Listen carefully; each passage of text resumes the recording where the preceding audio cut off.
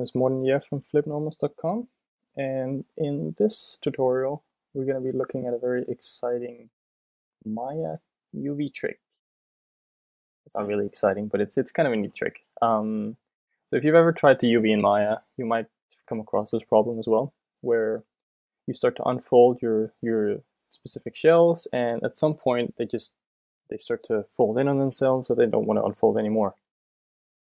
Uh, some time ago, I found a way around that.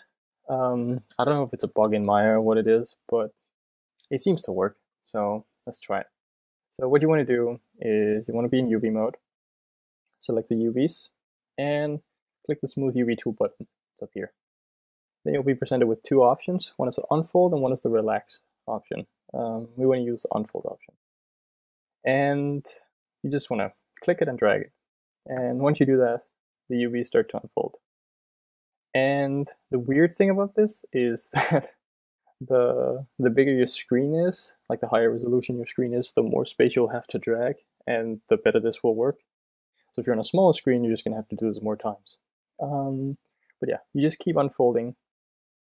At one point though, nothing's gonna happen anymore, and this is where the trick comes in.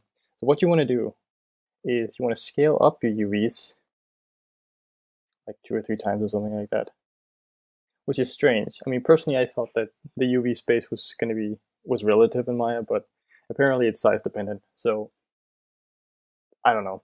But yeah, click the smooth UV tool again, unfold again, and now Maya will let you unfold some more. So you keep doing that until you get something like this, and I can see again, okay, can't unfold anymore, and there's still a little bit of, of an iffy spot up here. So you want to select your UVs again, scale them back down.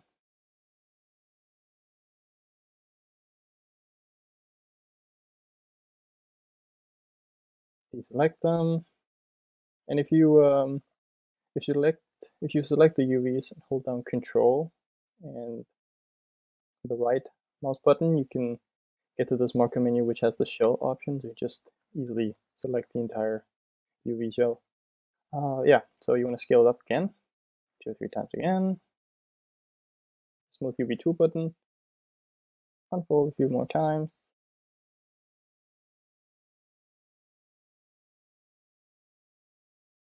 And there we go. I mean, the spacing is not really perfect, but um, this is a way, just a quick way to sort of unfold your UVs if they start to fold in on themselves. What you could do is sort of mix the unfold and relax option um, just to get a better distribution of, of your UVs. So yeah, I hope you enjoyed this little UV trick and uh, I'll see you next time.